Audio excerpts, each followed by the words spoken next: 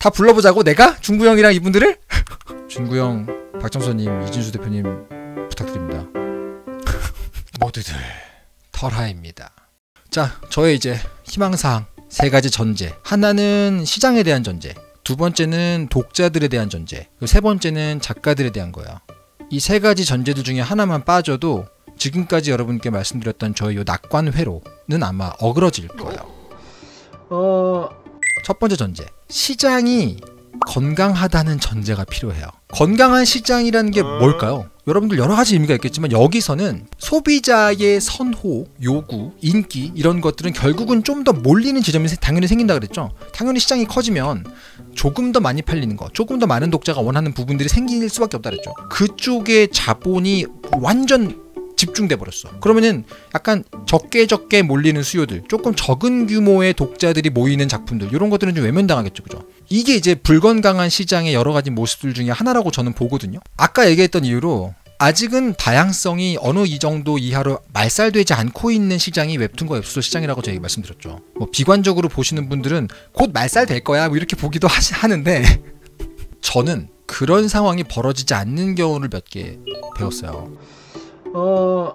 첫 번째 상황 인구가 겁나 많거나 비슷한 얘기지만 시장이 겁나 크거나 자 이게 무슨 말이냐면 여러분들 미국의 인디 만화 시장 초창기 90년대 중후반 이때 이때는 여러분 개인 홈페이지에다가 그냥 만화 올리고 계좌번호를 띄워놓으면 일정 금액이 모이면 그 다음 화를 그려서 올리고 그래요. 근데 땅이 넓으니까 미국 전체 전역이 넓잖아요. 사람이 좀 많아. 땅이 넓으니까 미국 전역에서 몇 명씩만 그 만화 홈페이지 들어가서 보, 고 후원 계좌에다가 몇 뭐 몇 달러씩 넣어줘도 작가가 개인 생활이 되는 거야.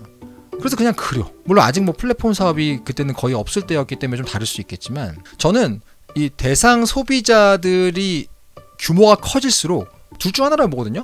완전히 인기 있는 컨텐츠 쪽으로 확 획일화되거나 아니면 다양성이 보장되거나인데 앞서 말했던 그 선택 스트레스가 적은 그러니까 소비가 일상적으로 이루어지고 있는 컨텐츠 이런 것들은 대부분 좀 후자라고 생각해요. 이제 이 부분이 사실은 제가 지금 말씀드린 이 부분이 사실 제가 개인적으로 제일 전문적이지 않은 부분이거든요.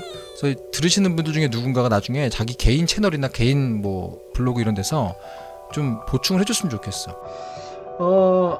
두 번째는 사업자 본인에게 어떤 일종의 철학이나 의식이나 가치관 같은 게 있으면 시장이 바로 병되진 않아요. 여러분들 콘텐츠에 대한 애정하고 콘텐츠 시장의 자본 원리가 정반대로 움직일 것 같이 생각하는 분들이 계시거든요. 근데 그렇지만 않아요. 되게 회색지대가 있습니다. 은근히 서로 영향을 줘요. 은근히 서로 돌고 돌아요. 특히 서브컬처, 마이너 컬처, B급 문화 요런 쪽에 있던 게 점점 잘 돼서 메이저로 넘어갈 때뭐 게임도 그렇고 그런 쪽은 컨텐츠에 대한 애정이 수익으로 직결되는 경우가 계속 나옵니다. 그런 걸 무시하고 어떤 덕심을 무시하고 돈만 왕창 벌려는 사람이 또 나왔다가 그것 때문에 또 몰락하면 다시 또 nerd, 매니아, 덕후, 덕심을 가진 사업자가 등장해서 뒤엎고 이게 돌고 도는 부분이 있어요. 네이버 웹툰하고 네이버 시리즈는 이제 김준구 대표님이시고 다음 만화 속 세상은 박정서 대표님이시고 카카오 페이지가 이진수 대표님이시거든요. 음, 그지. 탐이부 작가님 말이 맞아. 이 주제는 스튜디오 관계자나 업체 관계자, 플랫폼 관계자 없이 얘기하면 살짝 위험할 수도 있어요. 제가 하, 말할 수 있는 부분만 얘기를 하려고 하고 있는 겁니다. 제가 이제 김준구 대표님이나 박정서 대표님 같은 분은 이제 개인적으로 잘 알고 있고 카카오 페이지 이진수 대표님은 전혀 모르는 분이지만 그 앞에 두 분은 이제 기본적으로 덕심의 끝판왕이거든요. 돈 보고 뛰어든 사람이 아니라 덕심으로 달리는 사람들이 지금 업계 탑에 있다는 게 생각보다 굉장한 행운이라는 생각은 들어요. 이 부분은 제가 좀 운이 좋다고 생각을 하거든요. 우리 이 만화가들이 다 불러보자고 내가 준구 형이랑 이분들을 준구 형, 박정서님, 이진수 대표님 부탁드립니다. 점점 이 오늘의 주제 토크가 약간 신빙성이 떨어지는 느낌이 좀 들긴 하는데 아무튼 어이가 없네 내가 두 번째 전제가 있어요. 두 번째 전제가 독자들에 대한 거예요. 사실 제가 지금까지 얘기했던 거의 모든 것들 이 위에서 쭉 얘기했던 거 있죠. 이 웹툰 웹소설 쪽에서 다, 양성이라는 게 기본적으로 바로 없어지지 않는 이유들 뭐 이런 것들. 스튜디오는 절대 손을 못 댈 만한 작품들이 많이 있다는 것들. 이런 모든 것들은 사실은 이 두 번째 전제에 기대고 있어요. 소비자가 자기가 좋아하는 작품에 돈을 안 쓰면 지금까지 말한 상황들이 다 무너집니다.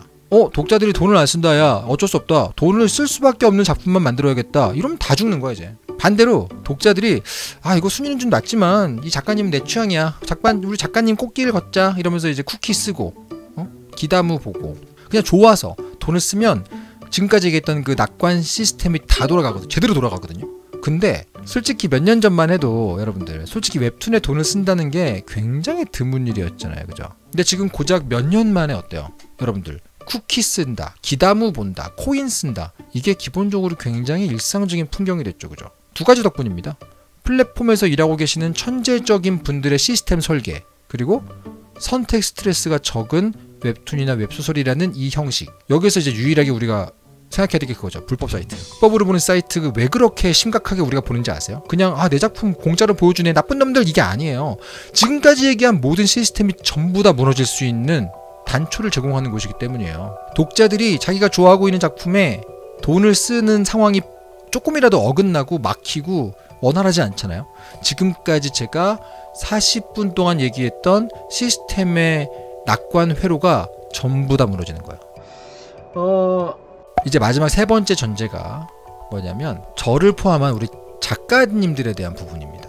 여러분 창작 스튜디오에서 나오는 소위 그 블록버스터 류의 웹툰들 보면서 그리고 그 작품들이 인기 순위에 상위권에 막 들어가다 보면 솔직히 작가들 입장에서는 어떤 방향으로 움직이고 싶어지냐면 아 나도 저런 거 해야 되겠다. 아니면은 뭐 어때요? 아, 난 스튜디오랑 경쟁 못해. 난 스튜디오에 들어가야 되겠다. 자 여러분들. 나도 저런 거 해야겠다 하는 순간 어떻게 되죠?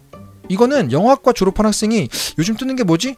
어 마블이 뜨고 있구나. 좋아. 나도 이제 히어로물 만들어야지. 이런 거랑 비슷한 거예요. 제 개인적인 생각은 작가님들이 저를 포함해서 하는 얘기입니다. 작가들이 스튜디오가 할 수 없는 게 뭔지를 고민해야 될 시기라고 생각해요, 진짜. 이건 지금 기성 작가님들에게 정말 쓰나미 같이 쏟아지고 있는 고민거리기는 해요. 나는 대체 가능한 작가 아닌가 혹시? 나는 과연 대체 불가능한 작가인가? 내가 지금 하고 있는 작품은 스튜디오가 할 수 없거나 하지 않을 작품이 맞나? 물론 스튜디오에서 하던 장르나 스튜디오에서 많이 원하는 소재, 스타일 이런 게 자기의 최고 무기인 작가님들도 계시긴 하거든요. 그런 분들이 뭐 다 하던 작품을 접어야 된다는 뜻이 절대 아닙니다. 자기가 하던 작품들 안에서도 스튜디오가 시도하지 않을 부분이 어딘가를 고민해 봐야 할 시간이 됐단 얘기예요. 앞부분의 두 가지 전제 굉장히 중요하지만 이 세 번째 전제도 굉장히 중요해요. 나는 대체 불가능한 작가가 될 수 있을까? 스튜디오가 못하거나 하지 않을 작품 쪽으로 뭘 해야 될까에 대한 고민을 시작할 때가 됐다는 거죠. 이미 늦었다고 생각하시는 분들은 뭐 그렇게 생각할 수도 있는데 저는 아니라고 보고 방금 전에 얘기했던 여러분들 두 번째 전제하고 엮여 있어요. 독자들이 자기가 좋아하는 작품에 돈을 써야 된다 그랬죠. 근데 그런 작품을 찾아봤는데 그런 작품을 그리는 작가가 없으면 어떡해요? 아무것도 안 돌아가는 거죠. 결론은 이거예요. 결국은 대체 불가능성을 어떻게 획득하느냐. 인기 많다고 무조건 스튜디오가 하고 있는 소재, 스타일, 장르를 벤치마킹하고 따라가는 건 좀 걱정되는 방향이라는 생각을 하는 거예요. 차라리 그 시간에 스튜디오 시스템이 할 필요가 없고 하지 않을 하면 수지가 안 맞을 그런 작품들 쪽으로 보는 게 맞다는 거죠. 그런 의미에서 여러분 제가 오늘 드린 이세 가지 세 가지 전제 이 세 가지 전제가 중에 어떤 거 하나라도 어그러지게 되면 굉장히 낙관적으로 얘기한 것처럼 보이겠지만 그 낙관적인 상황이 현실화가 안 됩니다.